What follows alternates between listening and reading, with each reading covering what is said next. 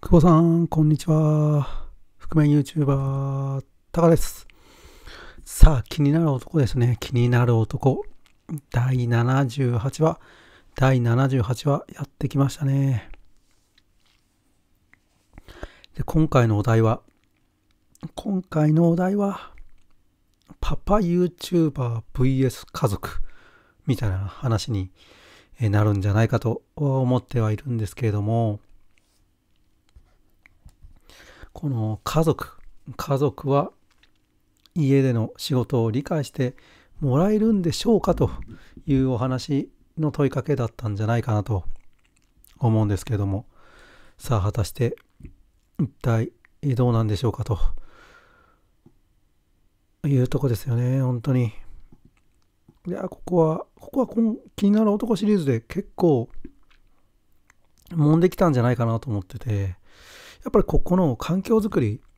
この環境づくりっていうのがやっぱりその仕事を続けていく上でむちゃくちゃ、まあ、むちゃくちゃ大切なんじゃないかなとは思っているし、まあ、この今回の気になる男シリーズで前半の方でかなりいろいろこう感じたことをやってきたんじゃないかと思うんですけどもともと家族の立場を考えると家族は、ま家で、家っていうのはリラックスする場所だと考えてると。家族はね。そりゃそうですよね、普通に考えたら。だってね、勝手に夫が、要は普通はサラリーマンで外に行くっていうのが常識ですから、それを振り切って、それを振り切ってね、えー、ネットで稼げるんだと。まあ、土地狂ったことを言い出してですよ、言うたら。で、それで、それで、まあ、会社なんか辞めちまって、まあ、やってるわけじゃないですか。それはね、妻からしてみたらね、何言うとるんだと。会社に行ったら、え固定給絶対20万もらえるじゃないかとか、30万。うん、それで何が問題なと。まあそういうわけになるわけですよ。まあ目先のことが、それが普通なんでね。だからまあそういうところもあって、まあ基本男性っていうのは仕事は外っていうのが一番まあベストかなと。で妻は妻でね家でゆっくりこうリラックスする時間が取れてるわけですから専業主婦っていう形で、まあ、それを邪魔されるというところのねこの怒りも相ま相重なってまあうまくいくかどうかっていうのは難しいところなんですけどこれ完全に自分の事例を出してるんですけどでもしかしたらもしかしたらですよ。もしかしたら家族が全面的に協力してくれる可能性もあります。例えばね野球選手とか。のなんだろう。押しも押される有名選手で。でファンもついてると。おそれだから献身的に支える。みたいなね、えー、家族がそういう雰囲気であるならばねそれが最高なんですけど。まあそんな、そんな人じゃないですよね、普通に。そんな人間じゃないと、自分は。だからやっぱり、まあ、そんなことは叶わないと。まあそういうことは叶わないことは当然あると。当然ある。当然あると。うーん、でもこっちの立場としては、まあ、仕事する立場としてはですよね。やっぱり仕事する場合っていうのは真剣に集中しないと作業が進まないと。仕事ですからね仕事にする相手相手というかねお客さんだったりに対してはそれは関係ないですからね。そのお貴様のお前の都合なんて関係ねえと。しっかりサポートしろよとね言うたらね金払ってんだからしっかりサポートしろよと。まあ言われかねないですよね。言うたら。まあそういうこともあると。で例えば家が狭いと、まあ、特に東京だと本当に家が狭いんですよ。まあ、東京来て初めて知ったんですけどね、東京って狭いんだなっていうね。部屋が狭いという場合は完全に締め切ることも難しい。まあ、要はその、完全にその部屋個室っていうわけじゃなくてその個室っていうのはいろんなものが置いてるんで例えばそこに、うん、タンスとか着替える服とかあったりまあいろんなものが置いてあるんでちょこちょこ出入りしなきゃいけないとなんで完全に締め切るのも難しいとで、そういう時にね、えー、まあ、仕事をしていれば、仕事をちらっとね入った時に見られた時に集中して仕事をしてればいいんでしょうけどね。リサーチのためとかでねこう動画見て見てた時に何遊んでんだと。まあ口には出さないかもしれないですよ。口に出さないかもしれないですけど動画ばっかり見てると、うん、何しんだと。まあ、いうことにもなりかねないわけですよね。まあ、要はその知らず知らずぞまにその疑疑心暗鬼というかだから稼げないんじゃないかみたいなね、うん、家に行ってね動画とか見てるぐらいならまあ家族をね、えーまあ、妻の立場からしたらこうなりますよね。家にいるなら家のこと手伝ってよってねまあ言われますよねそれはね。だって遊んでるように見えるんだからしょうがないです。でもね、でもそれを 黙って受け入れると、黙って受け入れるってね、黙って受け入れる。仕方ないんですと、仕方ないんですと。でも、その中でも、その時間を作ってやっていくか、こういろいろ言われるかもしれないですよ。本当に言われるかもしれないです。ね、関係もちょっと悪くなるかもしれないです。それでもね、こうやっていくっていうね、もう分かってもらうまでやり続けるっていうね、もうこれはもう覚悟かもしれないですねこれ言うたら。でそのやっぱり与えられた環境でやるしかないんですよねやり抜くしか。全ての環境がこうきれいに整ってるわけじゃなくてもう言うたらこんなのなんだろう逆境ですよね逆境。でも人生がそのうまくいってんなら別にインターネットでねお金稼ごうなんてしなくてもいいと思うんですよ。まあその会社に行っててえお金がやっぱりやばいって気づいたならまあ別にいいんですけどやっぱりその人生を何か変えたいっていうやっぱ強い気持ちがあるとは思うんですよね。きっとインターネットでお金を稼ぎたいっていう方は。今回入ってくれた塾生さんも新規で含め YouTube アカデミーに入ってくれたお客さんもの2期生さんで塾生さんにになるんですけどやっぱりこうなんか強い思いを抱えてたし、えー、このままじゃいかんと。強いその脅迫観念じゃないですけどなんかこう将来に不安というかこのままではダメだっていう危機感を感じてたと思うんで。えってなればやっぱネットで稼ぐ道っていうのを選択選択せざるを得ないし、まあ、この「気になる男」シリーズでも言ってたんですけどサラリーマンっていうのはお金を稼ぐに非常に適してない職業だっていうのはいろいろお話ししたんじゃないかなと思うんですけどでそうなるとやっぱり他人を変えようとは無理他人を変えようとしても無理だと思うんですね。うん、その結婚した時点はその結婚した時のね考え方をしてたかもしれないですけどやっぱり10年とか20年とかいろんな物事をいろんな時間を過ごしていくとやっぱ変わっていくと思うんですよ人間。変わらないのは他の人かもしれないけど自分は変わってるかもしれない。もうそうなったら変わってる自分と変わってない人と意見がずれていくのは仕方ないと思うんですよ。なのでやっぱりこれは批判を受け入れても、まあ、時にね、こう舌打ちされても、チッつってね、なんだよみたいな。言われても、それでもね、やっていくしかないかなと思っていて、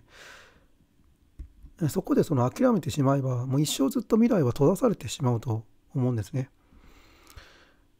かといってね、もちろんその家族のことを全部ないがしろにするっていうわけではなくて、もちろんできるだけこの家のこととかね、家族のことをしっかり尊重するというか、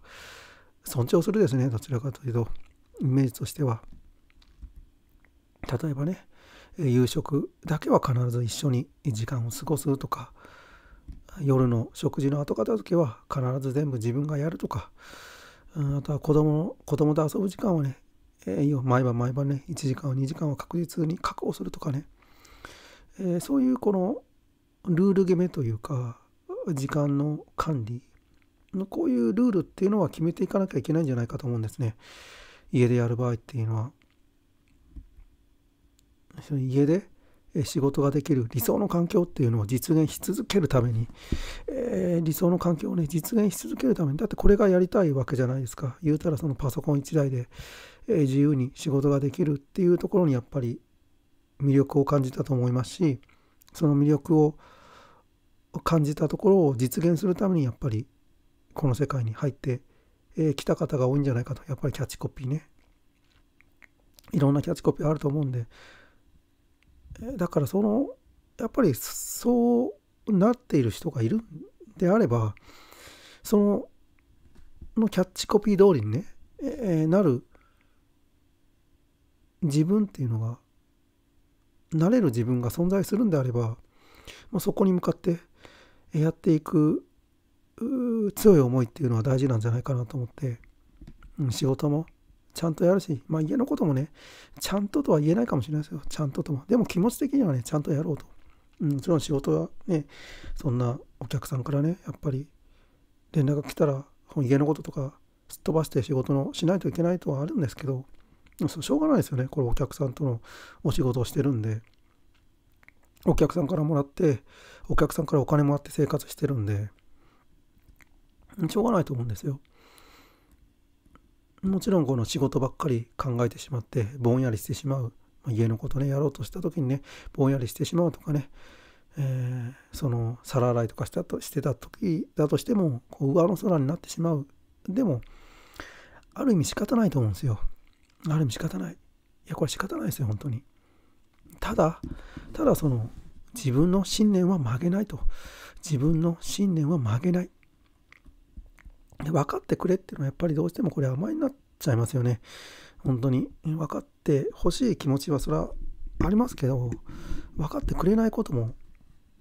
現実的にあるわけじゃないですか。だから、分かってもらうまでやり続ける。分かってもらうまでやり続ける。ここはもうこの頑固な気持ちですよね日々ね妥協はするとそれは家のことをこれやってよあれやってよって言われるかもしれないです。で時に受け入れ時にスルーし全部が全部受け入れたら仕事になりませんからね。でもそこをねうまく妥協しながらそして頑固な気持ちでねやっていくっていう頑固男でしになるしかないですよこれ本当に。だって家でね一緒に住んでるんだから。うん。相手の都合もありますし自分の都合もあるんでその子供もねいますからね当然。でやっぱりね家族との衝突で自分が負けるならやっぱりもうしょうがないと思うんですよ。もうそれでねできないっていうんであればもうそれまでかなと思っていて。これは厳しい表現かもしれないですけどでももうしょうがないですよねもう。家族との戦いにも勝てない、うん、自分で自分の環境も作れないっていうんであればやっぱりしょうがないかなともちろんその穏やかな気持ちを持ってねやりたいのは当然ですけど穏やかな気持ちを持てない環境にね、なかなか配慮されないかもしれないですよ。ただその中でもね、仕方ないんだと。でも自分はやりたいんだっていうね、すいませんと。やらせてくださいと。申し訳ないと。大変なのは分かってると。でも自分はね、これしか生きる道がないんだっていう覚悟を決めて、それでやっていく。それでいいんじゃないですかね。でもそれでどうしようもね、もう納得いかんと。家族ももうこれ以上やるんならもう家族が崩壊するっていうんであればもうそれでそこが一度考えるべきなんじゃないですかね。うん。っていうところまでねやれるとこまでやってそこじゃないんですかね。やっぱり難しいですよこの問題だけはね。全部が全部受け入れてたらうまくいかないし全部が全部自分を我を通すとするとうまくいかないしなかなか表現難しいんですけど衝突は避けられないでも衝突を少しは和らげることはできるかなと思いますんでね。もしこの家で YouTuber 家で YouTuber 在宅 YouTuber 特にね、えー、娘さんとか、えー、あ子供さんとかね家族がいてなかなか難しいなと思ったのであればねもうその中でやっていくと外で撮ったりもできますからね。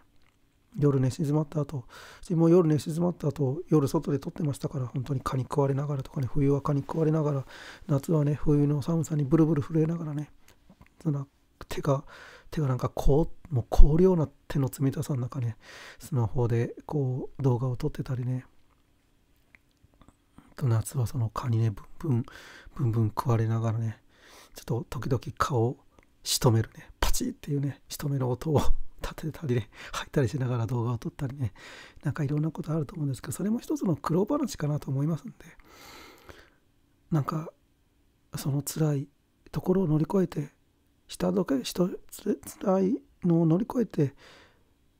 手に入れたものっていうものは本当にかけがえのないものになるんじゃないかなと思ったりもします。はいということで、えー、気になる男シリーズ第78話ですね第78話こちらで終わろうと思います。そして、えー、気になる男ズーム対談ですね。ズーム対談。10月25日火曜日9時からですね。久保さんのチャンネルになるのかな？あれ？どうなるのかな？久保さんのチャンネルって表現すればいいのかな？多分ちょっとともかくズーム対談。すいません。ともかくズーム対談を、えー、久保さんとやらせていただきますんで。ねこれをね最後までこうやって聞いていただける方は是非ご縁があったらいいなと思っております。はいということで気になる男第79話久保さんよろしくお願いします。ありがとうございました。